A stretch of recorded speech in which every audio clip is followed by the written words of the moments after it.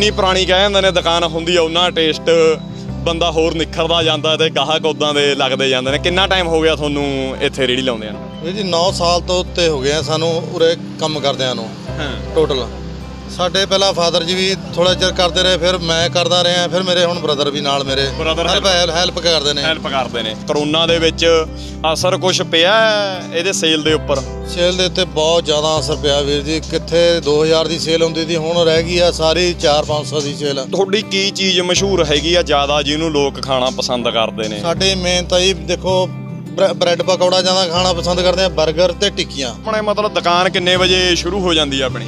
ਅਸੀਂ ਤਕਰੀਬਨ 10 ਕੁ ਵਜੇ ਲਾਉਨੇ ਆ ਜੀ ਦੁਕਾਨਦਾਰੀ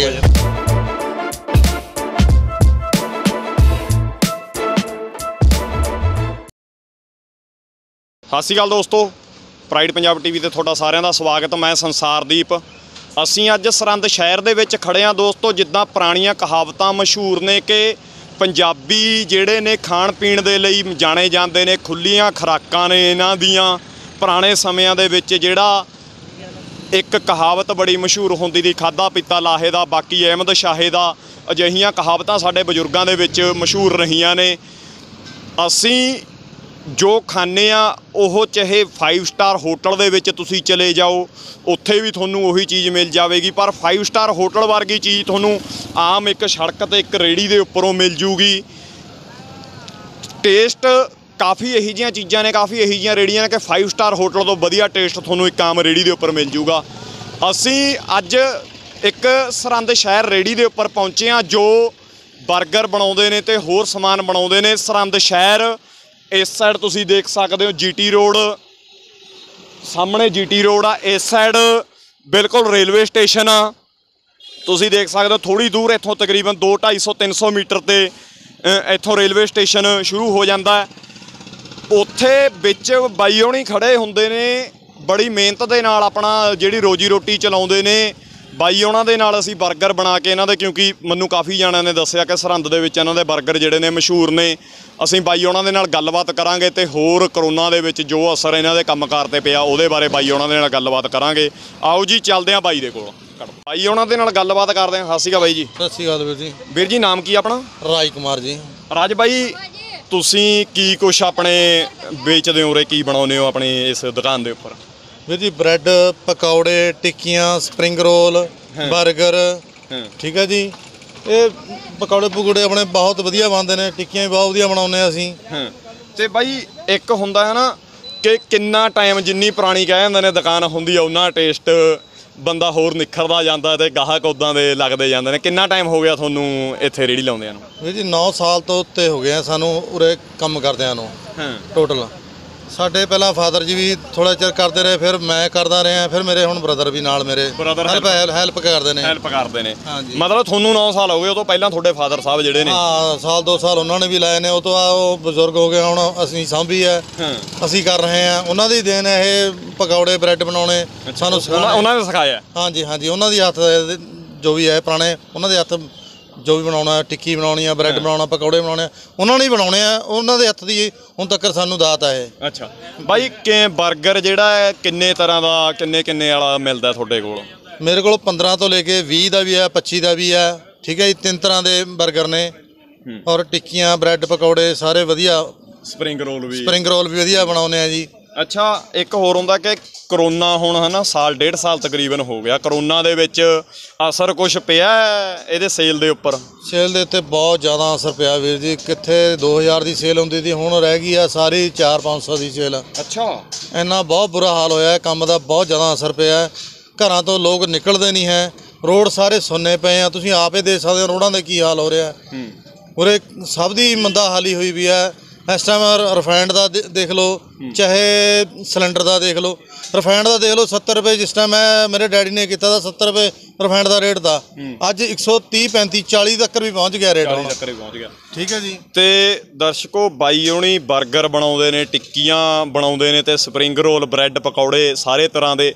ਬਾਈ ਪਕੌੜਿਆਂ ਦਾ ਕੀ ਰੇਟ ਹੁੰਦਾ ਆਪਣੇ ਕੋਲ? ਕੀ ਰੇਟ ਦੇ ਹਿਸਾਬ ਨਾਲ ਤੁਸੀਂ ਵੇਚਦੇ ਹੋ? ਵੀਰ ਜੀ ਮੈਂ ਤਾਂ ਦੇਖੋ ਜੀ ਪੁਰਾਣਾ ਰੇਟ ਹੀ 50 ਰੁਪਏ ਪਾਈਆ ਹੀ ਰੱਖਿਆ ਵਾ ਹਲੇ ਤੱਕ।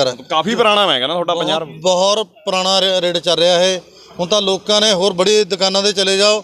ਉਹ ਕੋਈ ਦੇ ਰਿਹਾ 300 ਰੁਪਏ ਕਿਲੋ ਕੋਈ ਹਾਲਾ ਦੇ ਰਿਹਾ ਦੋ ਆਪਣਾ 280 ਰੁਪਏ ਕਿਲੋ। ਕੋਈ 350 ਵੀ ਦੇ ਰਿਹਾ ਅਸੀਂ ਉਹੀ ਪੁਰਾਣਾ ਰੇਟ 200 ਰੁਪਏ ਕਿਲੋ। ਤੇ ਬਾਈ ਤੁਹਾਡੀ ਕੀ ਚੀਜ਼ ਮਸ਼ਹੂਰ ਹੈਗੀ ਆ ਜ਼ਿਆਦਾ ਜਿਹਨੂੰ ਲੋਕ ਖਾਣਾ ਪਸੰਦ ਕਰਦੇ ਨੇ? ਸਾਡੇ ਮੇਨ ਤਾਂ ਜੀ ਦੇਖੋ ਬ੍ਰੈ- ਬ੍ਰੈਡ ਪਕੌੜਾ ਜ਼ਿਆਦਾ ਖਾਣਾ ਪਸੰਦ ਕਰਦੇ ਆ 버ਗਰ ਤੇ ਟਿੱਕੀਆਂ। ਟਿੱਕੀਆਂ। ਪਕੌੜੇ ਵੀ। ਪਕੌੜੇ ਵੀ। ਮਤਲਬ ਇਹ ਚੀਜ਼ਾਂ ਤਲਿਆ ਹੋਇਆ ਜਿਹੜਾ ਜ਼ਿਆਦਾ ਸਮਾਨ ਹਾਂ। ਸਭ ਤੋਂ ਵੱਧ ਇਹੀ ਵਿਕਣਾ ਵਿਕ ਰਿਹਾ ਮੇਰਾ। ਔਰ ਮੇਰਾ ਸਭ ਤੋਂ ਪਸੰਦ ਇਹੀ ਪਸੰਦ ਕਰਦੇ ਜ਼ਿਆਦਾ ਟਿੱਕੀ ਪੂਰੇ ਪੂਰੇ ਪੰਜਾਬ ਦੇ ਏਰੀਏ ਦੇ ਸਭ ਤੋਂ ਇੱਕ ਨੰਬਰ ਦੀ ਟਿੱਕੀ ਮੇਰੀ ਉਹ ਆਉਂਦੀ ਹੈ ਜੀ। ਅੱਛਾ। ਤੇ ਅੱਜ ਫਿਰ ਸਾਨੂੰ ਇੱਕ ਆਪਣਾ 버ਗਰ ਜਿਹੜਾ ਸਪੈਸ਼ਲ ਤੁਹਾਡਾ ਉਹ ਬਣਾ ਕੇ ਖਿਲਾਓ ਸਾਨੂੰ। ਲਓ ਜੀ ਜ਼ਰੂਰ ਬਣਾਵਾਂਗੇ ਜੀ। ਦੋਸਤੋ ਬਾਈ ਨੇ ਜਿਹੜਾ 버ਗਰ ਬਣਾਉਣਾ ਸ਼ੁਰੂ ਕਰ ਦਿੱਤਾ। ਹਾਂਜੀ ਕਰੋ ਸ਼ੁਰੂ ਜੀ। ਬਾਈ ਜਿਹੜੀ ਆ 버ਗਰ ਦੀ ਟਿੱਕੀ ਆ ਇਹ ਕਿੱਦਾਂ ਮਤਲਬ ਸਿੰਪਲ ਆਲੂ ਦੀ ਆ ਜਾਂ ਵਿੱਚ ਹੋਰ ਵੀ ਜਿਹੜਾ ਇਹਦੇ ਵਿੱਚ ਸਮਾਨ ਪਾਉਂਦੇ ਹੋ? ਵੀਰ ਜੀ ਇਹ ਚ ਆਲੂ ਮਟਰ ਆਦਾ ਮਿਰਚਾਂ ਪਾਲਕ ਧਨੀਆ ਸਾਬਤ ਧਨੀਆ ਸੁੱਕਾ ਧਨੀਆ ਦੋਏ ਆਈਟਮਾਂ ਤੇ ਜੀਰਾ। ਘਰੋਂ ਬਣਾ ਕੇ ਲੈ ਕੇ ਆਉਂਦੇ ਹੋ? ਬਿਲਕੁਲ ਜੀ ਮੇਰੇ ਫਾਦਰ ਨਾਲ ਮਦਦ ਮਾੜੀ ਮੁੱਠੀ ਕਰਦੇ ਨੇ ਨਾਲ ਮੇਰਾ ਬ੍ਰਦਰ ਵੱਡਾ ਕਰਦਾ। ਹੈ। ਤੇ ਮੈਂ ਵੀ ਨਾਲ ਕੰਮ ਲੱਗਿਆ ਰਹਿਣਾ ਅੱਛਾ। ਸਮਾਨ ਦੇ ਤਿਆਰੀਆਂ ਕਰਾਉਂਦੇ ਸਾਨੂੰ ਸਵੇਰੇ 5 ਵਜੇ ਤੋਂ ਲੈ ਕੇ ਹਾਂ। 9 ਵਜੇ ਤੱਕ 9:30 ਵਜੇ 10 ਵਜੇ ਜਾ ਕੇ ਦੁਕਾਨਦਾਰੀ ਲਾਉਨੇ ਆ ਹਾਂ। ਇੱਥੇ ਆ ਕੇ। ਇਹੀ ਤਿਆਰੀ ਤਿਆਰੀ ਕਰਦੇ ਰਹਿੰਦੇ ਆ।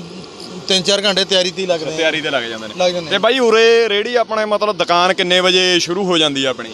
ਅਸੀਂ ਤਕਰੀਬਨ 10 ਕੁ ਵਜੇ ਲਾਉਨੇ ਆ ਜੀ ਦੁਕਾਨਦਾਰੀ ਤੇ। ਸ਼ਾਮ ਨੂੰ ਕਿੰਨੇ ਵਜੇ ਤੱਕ? ਸ਼ਾਮੀ ਹੁਣ ਤਾਂ ਜੀ ਦੇਖੋ ਅੱਜ ਤਾਂ ਅੱਜ ਤੋਂ ਸਟਾਰਟ ਇਹਨਾਂ ਨੇ 6 ਵਜੇ ਕਰਤਾ ਜੀ। ਵੀ ਬੰਦ ਕਰ ਦੇਣੀ ਆ 6 ਵਜੇ। ਅੱਗੇ ਤਾਂ ਚਲੋ ਵੱਧ ਟਾਈਮ ਵੀ ਲੱਗ ਜਾਂਦਾ ਦਾ 9 9:30 ਵਜੇ ਵੀ ਕਰਦਾ ਤਾ ਪਿੱਛੇ ਚਲੋ 8:30 ਕਰਤਾ 8 ਵਜੇ ਕਰਤਾ ਤਾ ਇਹਨਾਂ ਨੇ। ਉਹ ਵੀ ਚਲੋ ਠੀਕ ਤਾਂ ਪਰ ਹੁਣ ਤਾਂ ਜਮਾਂ ਹੀ 6 ਵਜੇ ਹੁਣ ਦੱਸੋ ਉਹ ਟਾਈਮ ਕੰਮ ਦਾ ਇਹ ਉਹ ਟਾਈਮੇ ਸਾਨੂੰ ਇਹ ਭੁੱਖਾ ਮਾਰਨ ਦੀ ਉਹੀ ਟਾਈਮ ਮਤਲਬ ਤੁਹਾਡੇ ਜਿਹੜਾ ਸੇਲ ਦਾ ਹੁੰਦਾ ਹੈ। ਹਾਂਜੀ ਉਹੀ ਟਾਈਮ ਸਾਡਾ ਸੇਲ ਦਾ ਹੈ। ਉਹੀ ਟਾਈਮ ਰੋਟੀ ਪਾਣੀ ਦਾ ਇਹ ਕਹਿੰਦੇ ਵੀ ਕਮਾਓ ਨਾ ਇਹਨਾਂ ਨੇ ਤਾਂ ਸਾਨੂੰ ਭੁੱਖੇ ਮਾਰਨ ਵਾਲਾ ਕੰਮ ਕਰਤਾ ਬਾਈ ਹੁਣ ਤੁਸੀਂ 버ਗਰ ਤਲਿਆ ਕਿੰਨਾ ਟਾਈਮ ਇਹ ਤਲਿਆ ਜਾਣਾ ਹੈ ਜਿਹੜਾ ਤੁਸੀਂ ਤਲ ਰਹੇ ਸਿਰਫ ਹੋ 3 3 ਕੁ ਮਿੰਟ ਲੱਗਦੇ ਜ਼ਿਆਦਾ ਨਹੀਂ 3-4 ਮਿੰਟ ਹੀ ਲੱਗਦੇ ਆ ਜ਼ਿਆਦਾ ਨਹੀਂ ਹੈ। 3 ਕੁ ਮਿੰਟ ਤਲਣਾ ਹੈ ਮਤਲਬ। ਹਾਂਜੀ ਹਾਂਜੀ ਆ ਦੇਖੋ ਜੀ ਤੁਹਾਡੇ ਸਾਹਮਣੇ ਤਿਆਰ ਆ 3 ਮਿੰਟ ਦੇ ਵਿੱਚ। ਦੋਸਤੋ 2 ਤੋਂ 3 ਮਿੰਟ ਦੇ ਵਿੱਚ ਵਿੱਚ ਜਿਹੜਾ 버ਗਰ ਆ ਵੀਰ ਨੇ ਉਹ ਤਿਆਰ ਕਰ ਲਿਆ ਹੈ। ਹੁਣ ਅਗਲਾ ਪ੍ਰੋਸੈਸ ਅਸੀਂ ਬਾਈ ਦੇ ਨਾਲ ਇਹਨੂੰ ਕੱਟ ਲਿਆ ਹੁਣ ਬਾਈ ਨੇ। ਬਾਈ ਕੀ ਕ- ਕੁ- ਕੀ ਕੁਝ ਪਾਉਂਗੇ ਇਹਦੇ ਵਿੱਚ? ਹੁਣ ਦੱਸੀ ਜਾਇਓ ਨਾਲ ਦੀ ਨਾਲ ਸਾਨੂੰ। ਵੀਰ ਜੀ ਦੇਖੋ ਆ ਚਟਨੀਆਂ ਤੁਹਾਡੇ ਸਾਹਮਣੇ। ਇਹ ਕਿਹੜੀ ਚਟਣੀ ਹੈ ਜੀ ਇਹ? ਇਹ ਮਿਕਸ ਟਮਾਟਰਾਂ ਦੀ ਚਟਨੀ ਹੈ। ਇਹ ਇਹ ਆਪ ਤਿਆਰ ਕਰਦੇ ਹੋ? ਲਾਲ ਵਾਲੀ ਹੈ ਜਿਹੜੀ? ਹਾਂਜੀ ਹਾਂਜੀ। ਆ ਹਰੀ ਚਟਨੀ ਹੈ ਇਹ ਆਪ ਆਪ ਤਿਆਰ ਕਰੀ ਦੀ ਇਹ ਵੀ। ਹਾਂ। ਇਹ ਮਿਰਚਾਂ ਹਰੀ ਧਨੀਆ ਪਾਲਕ ਧਨੀਆ ਦੀ ਸਾ- ਸਾਰੀ ਮਿਕਸ ਕਰਕੇ ਬਣਾਈ ਦੀ ਹੈ ਇਹ ਵਧੀਆ। ਜੀ। ਟਮਾਟਰ ਤੇ ਪਿਆਜ਼ ਟਿੱਕੀ ਠੀਕ ਹੈ ਜੀ? ਪਿਆਜ਼ ਵੀ ਪਾ ਲਿਆ ਬਾਈ ਨੇ। ਹਾਂਜੀ। ਅੱਗੇ ਨਿਊਡਲ ਠੀਕ ਹੈ ਜੀ। ਨਿਊਡਲ ਤੋਂ ਬਾਅਦ ਕਰੀਮ ਵੀ। ਅੱਛਾ। ਤੇ ਨਿਊਡਲ ਦੇ ਵਿੱਚ ਕੀ ਕੁਝ ਪਾਉਨੇ ਹੋ ਬਾਈ? ਆਪਾਂ ਨਿਊਡਲ ਦੀ ਗੱਲ ਕਰੀਏ ਨਿਊਡਲ ਦੇ ਵਿੱਚ ਨਿਊਡਲ ਕੀ? ਦੇ ਵਿੱਚ ਪੱਤ ਗੋਭੀ ਪੈਂਦੀ ਹੈ ਸ਼ਿਮਲਾ ਮਿਰਚ ਨਮਕ ਮਿਰਚ ਤੇ ਆਪਣਾ ਜੀਨੋਮਾਟੋ ਠੀਕ ਹੈ ਨਹੀਂ? ਇਹ ਚੀਜ਼ਾਂ ਪਾ ਕੇ ਫਿਰ ਕਰੀਮ ਕਰੂਮ ਪਾ ਕੇ ਇਹ ਕਰੀਮ ਇਹ ਇਹ ਮੁੱਲ ਲਿਆਉਂਦੇ ਹੋਣੇ ਬਸ ਮੈਂ ਕਹਿੰਦਾ ਇਹ ਬਸ ਮੁੱਲ ਆਈਦੀ ਆ। ਬਾਕੀ ਚਾਟ ਮਸਾਲਾ ਨਮਕ ਨੂਕ ਇਹ ਤਾਂ ਦੇਖੋ ਮਸਾਲੇ ਆਪਣੇ ਨੇ। ਇਹ ਆਪਣੇ ਨੇ ਮਸਾਲੇ। ਹਾਂ ਸੇ ਗ੍ਰੇਡ 버ਗਰ ਦੋਸਤੋ ਜਿਹੜਾ ਤਿਆਰ ਹੋ ਗਿਆ ਬਾਈ ਨੇ ਕਰ ਲਿਆ ਬੜਾ ਵਧੀਆ। ਉੱਪਰ ਕਰੀਮ ਵਗੈਰਾ ਪਾ ਕੇ ਤੁਸੀਂ ਦੇਖ ਸਕਦੇ ਹੋ? ਦੋਸਤੋ, ਬਾਈ ਨੇ 버ਗਰ ਜਿਹੜਾ ਤਿਆਰ ਕਰ ਦਿੱਤਾ ਤੁਸੀਂ ਦੇਖ ਸਕਦੇ ਹੋ।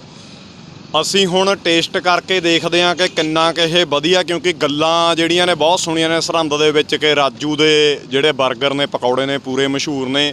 ਹੁਣ ਦੇਖਦੇ ਹਾਂ ਟੇਸਟ ਕਰਕੇ ਕਿ ਕਿੱਦਾਂ ਦਾ ਹੈਗਾ। ਤੁਸੀਂ ਨੇੜੇ ਤੋਂ ਦੇਖ ਸਕਦੇ ਹੋ, ਨਿਊਡਲ ਪਾਏ ਨੇ, ਕਰੀਮ ਪਾਈ ਆ ਤੇ ਹੋਰ ਵਿੱਚ ਟਿੱਕੀ, ਪਿਆਜ਼ ਵਗੈਰਾ, ਸਾਰਾ ਜਿਹੜਾ ਬਾਈ ਨੇ ਯੂਜ਼ ਕੀਤਾ ਜੀ ਕਰਦੇ ਹਾਂ ਹੁਣ ਬਾਈ ਦੇ ਰਾਜੂ ਦੇ 버ਗਰ ਦੀ ਟੇਸਟਿੰਗ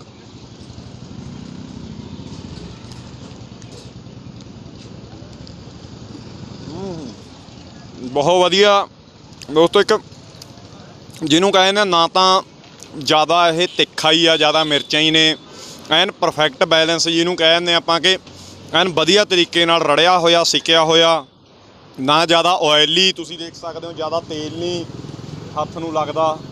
ਮਾੜਾ ਮੋਟਾ ਜਿਹਾ ਤੇਲ ਚਲੋ, ਜਦੋਂ ਫਰਾਈ ਕੀਤਾ ਤਾਂ ਥੋੜਾ ਬਹੁਤਾ ਤੇਲ। ਹੁਣ ਜੀ, ਆਪਾਂ ਪਹਿਲਾਂ 버ਗਰ ਜਿਹੜਾ ਇਹਨੂੰ ਫਿਨਿਸ਼ ਕਰਦੇ ਆਂ ਤੇ ਫਿਰ ਹੋਰ ਜਿਹੜੀਆਂ ਗੱਲਾਂ ਬਾਤਾਂ ਨੇ ਤੁਹਾਡੇ ਨਾਲ ਕਰਾਂਗੇ।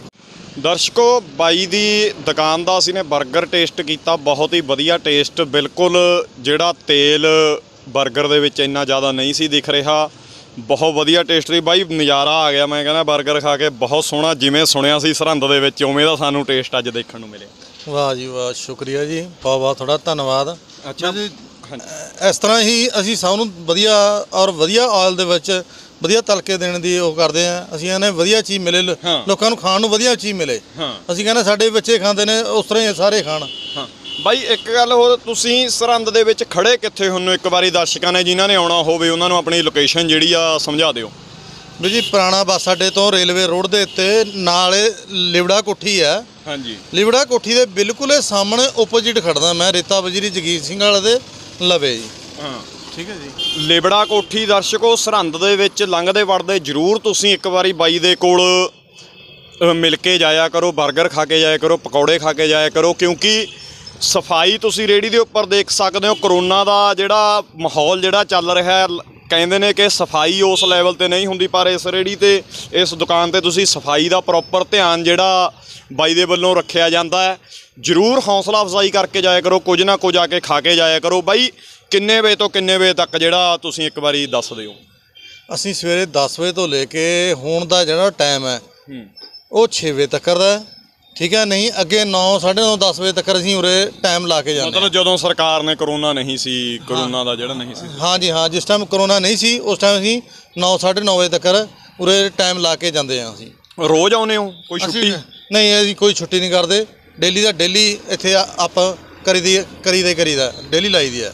ਦਰਸ਼ਕੋ ਬਾਈ ਹੋਣੀ ਡੇਲੀ ਜਿਹੜਾ ਆਉਂਦੇ ਨੇ ਇੱਥੇ ਕੋਈ ਇੱਥੇ ਜਿਹੜਾ ਛੁੱਟੀ ਨਹੀਂ ਬਈਰੇ ਹੋਣੀ ਕਰਦੇ ਹਫ਼ਤੇ ਦੇ 7 ਦਿਨ ਹੁਣ ਕਰੋਨਾ ਕਰਕੇ ਪੰਜਾਬ ਸਰਕਾਰ ਦੀਆਂ ਜੋ ਹਦਾਇਤਾਂ ਨੇ ਉਹਦੇ ਮੁਤਾਬਕ ਬਾਈ ਹੋਣੀ ਖੜਦੇ ਨੇ। ਵੈਸੇ ਕਰੋਨਾ ਤੋਂ ਬਿਨਾ ਜੇ ਗੱਲ ਕਰੀਏ ਤਾਂ 9-10 ਵਜੇ ਤੱਕ ਬਾਈ ਉਹਨਾਂ ਦੀ ਇੱਥੇ ਦੁਕਾਨ ਜਿਹੜੀ ਆ ਤੁਸੀਂ ਦੇਖ ਸਕਦੇ ਹੋ। ਆ ਕੇ ਜਰੂਰ ਸਾਡੀ ਇਹੀ ਅਪੀਲ ਆ ਕਿ ਜਰੂਰ ਇੱਕ ਵਾਰੀ ਐਦਾਂ ਦੇ ਮਿੱਤਰਾਂ ਦੀ, ਸਾਡੇ ਦੋਸਤਾਂ ਦੀ ਹੌਸਲਾ ਅਫਜ਼ਾਈ ਕਰਿਆ ਕਰੋ।